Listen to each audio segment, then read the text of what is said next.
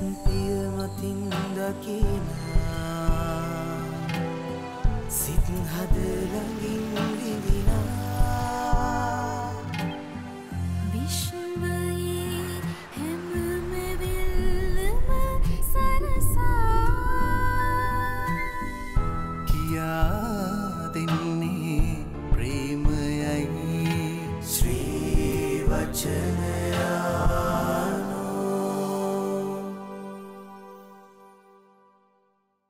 පළමුවන දේව ප්‍රකාශනය ශුදෝ පවුලතුමන් විසින් ගලාතිවරණුත යවන ලද හසුනෙන් උපුටාගත් පාටයකි. එහෙත් මුළු ලොවම පාපයෙහි සිරගත වී ඇතැයි ශුදෝලියවිල්ලෙහි කියා ඇති බැවින්. අදහන අයට පමණක් ජේසුස් කෘස්තුන් වහන්සේ තුළින් ඇදහිල්ල කරුණුකොටගෙන පොරොන්දුව ලබාගත හැකිය. පැමිණෙන්න්නට තිබූ ඇදහීම එලිදර උවනතෙක් ඒ ඇදහීම පැමිණෙන්න්නට පෙර අපි හිර අඩස්සිවී ව්‍යවස්ථාව යටතේ රැකවල් කරනු ලැබුවමු. මෙසේ ව්‍යවස්ථාව වනාහි අප ඇදහිල්ල කරනකොටගෙන දමිටු බවට පත් කරනු ලබන පිණිස අප ක්‍රිස්තුන් වහන්සේ ළඟට පමුණුවන අපේ අනුශාසකයෙකු වෙනිය. එහෙත් දැන් ඇදහිල්ල පැමිණ තිබෙන බැවින් අපි තවත් අනුශාසකයෙකු යටතේ නොවෙමු. ඔබ සියල්ලෝම ක්‍රිස්තුස් ජේසුස් වහන්සේ තුළ ඇදහිල්ල කරනකොටගෙන දෙවියන් වහන්සේගේ පුත්‍රයෝය. ඔබ අතරෙන් ක්‍රිස්තුන් වහන්සේගේ නාමයට බෞතිස්ම ස්ථාපනය කරනු ලැබූ සියල්ලෝ ක්‍රිස්තුන් වහන්සේගේ ජීවිතයෙන් සැරසී සිටිති. ඔබ සියල්ලන් ක්‍රිස්තුස් ජේසුස් වහන්සේ තුළ එක්කෙනෙකුමෙන් සිටින නිසා ජුදෙව් ග්‍රීක බේදේවත් දාස නිර්දාස බේදේවත් ස්ත්‍රී පුරුෂ බේදේවත් නැත.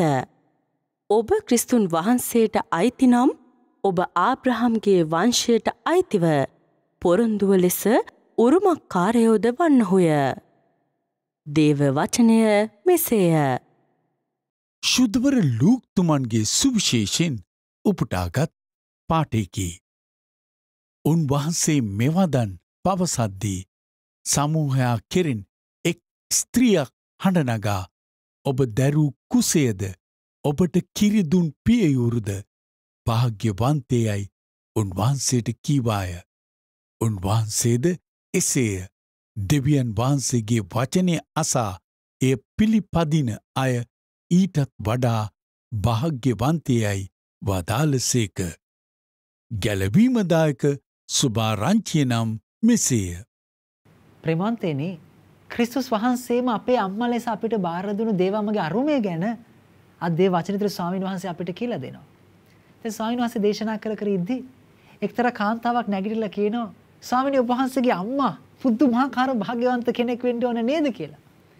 එතකොට මේ විදිහට අය මොනවද මේ කියන්නේ?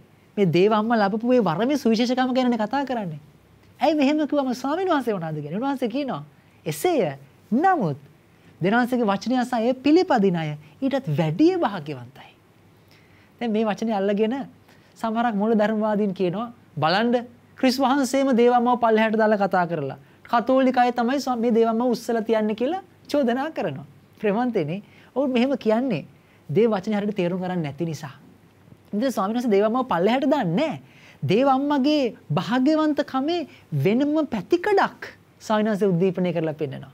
ඉතින් ස්වාමීන් වහන්සේ කියනවා දෙවියන්ගේ වචනය අසලා ඒ පිළිපදිනා ඊට වැඩිය භාග්‍යවන්තයි කියලා. සොනාසර කාන්තාවට කියනවා මගේ අම්මා භාග්‍යවන්ත වෙන්නේ මාව මේ ලෝකෙට බිහි කරපු නිසා විතරක් නෙවෙයි. මගේ අම්මා දෙවියන් වහන්සේගේ වචනය අකුරටම පිළිපැද්දා.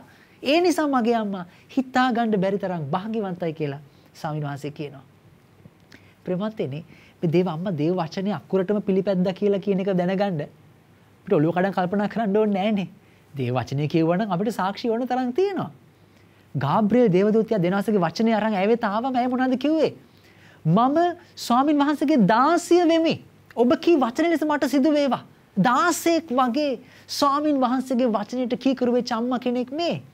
ඇය මේ කියපු ආමෙන් කියන වචනය, ඒ එසේ මේවා කියපු වචනය ගැලවුම් කාර්යයට මේ ලෝකෙට ඇවිල්ලා ගැලවීම පැල කරන්න පසුබිම හදලා දුන්නා. ඒ නිසා ස්වාමින් වහන්සේ අර කාන්තාවට කියනවා මගේ අම්මා සැබෑවටම භාග්‍යවන්ත කෙනෙක්. ඇගේ භාග්‍යවන්තකම ඇය මාව මේ ලෝකෙට බිහි කිරීම තුළ විතරක් දකින්න එපා. ඇය දේ වචනයට කීකරු වෙලා ඒක අකුරට පිළිපැද්දන්නේ ඒක තුලත් ඇගේ භාග්‍යවන්තකම දකින්න ඇයට ගරු කරන්න ආදරය කරන්න කියලයි ස්වාමීන් වහන්සේ කියන්නේ. නමුත් ගොඩක් වෙලාවට අද ගොඩ දෙනෙක් මේ දේවමගේ අරුමේ තේරුම් අරන් නැහැ. භාග්‍යවන්තකම තේරුම් අරගෙන නැහැ. දවසක් ඊතර තැනක මට කතාවක් දෙන්න කියලා කිව්වා.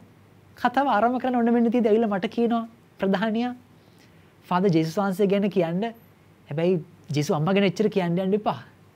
මං කෝ අනේ මහත්තයෝ ජේස් වහන්සේම මට දුන්නු අම්මා ගැන මට කතා කරන්න එපා කියනවනම් මම කතා නොකරම ඉන්නම්. කතා කරනවා නම් මට දේවම්ම ගැනත් කතා කරන්න අවසර තියෙන දවසක ඇවිල්ලා මං කතා කරන්න. ඇයි මේ දේවමට අගෞරව කරන්නේ? ඇයි මේ අය පල්ලෙහාට දාන්න උත්සාහ කරන්නේ? හේතුව දැනගන්න. ඒ තැන්වල ඒ පුද්ගලයා තුල ක්‍රියාත්මක වෙන්නේ සාතන්ගේ බලය. බලන්න ස්වාමීන් වහන්සේ ආරම්භයේදී උප්පත්තිපතේ කියන දේ උන්වහන්සේ කියනවා තාසා ස්ත්‍රී අතරද තගේ වංශය සහ ඇගේ වංශය අතරද බද්ධ වෛරය තියෙනවා. දෙවියන් වහන්සේම කියපු විදිහට සාතන් දේවම්මත් එක්ක බද්ධ වෛරයෙන් ඉන්නේ. එතකොට දේවම්මත් එක්ක බද්ධ වෛරයෙන් ඉන්න සාතන් ඒ තැන්වල ඒ පුද්ගලය තුළ ක්‍රියාත්මක වෙන නිසායි ඒගොල්ලෝ දේවම්මත් එක්ක බද්ධ වෛර. ඒකයි ඔවුන් දේවම්මට අගෞරව කරන්නේ. ප්‍රේමන්තේනේ.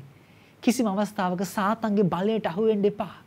දෙවියන් වහන්සේම ගෞරව කරපු කාන්තාවක් මේ. විපුල ප්‍රසාදලත් උත්තමිය කියලා දෙවියන් වහන්සේම ගෞරවය දුන්න කෙනෙක් මේ. ඇයට ගරු කරන්න, ඇයට ආදරය කරන්න. දෙවියන් වහන්සේම ඇයට ගෞරවය පුදන නිහතමානී වෙද්දී ඇයට අගෞරව කරන්න තරම් අහංකාර වෙන්න එපා. ඒ නිසා මේ අම්මගේ අතේ එල්ලිලා ස්වාමින් වහන්සේත් එක්ක ගමනක් යන්න උත්සාහ කරන්න. ඒස්නා වරම්පතා යාක්ෂා කරමු.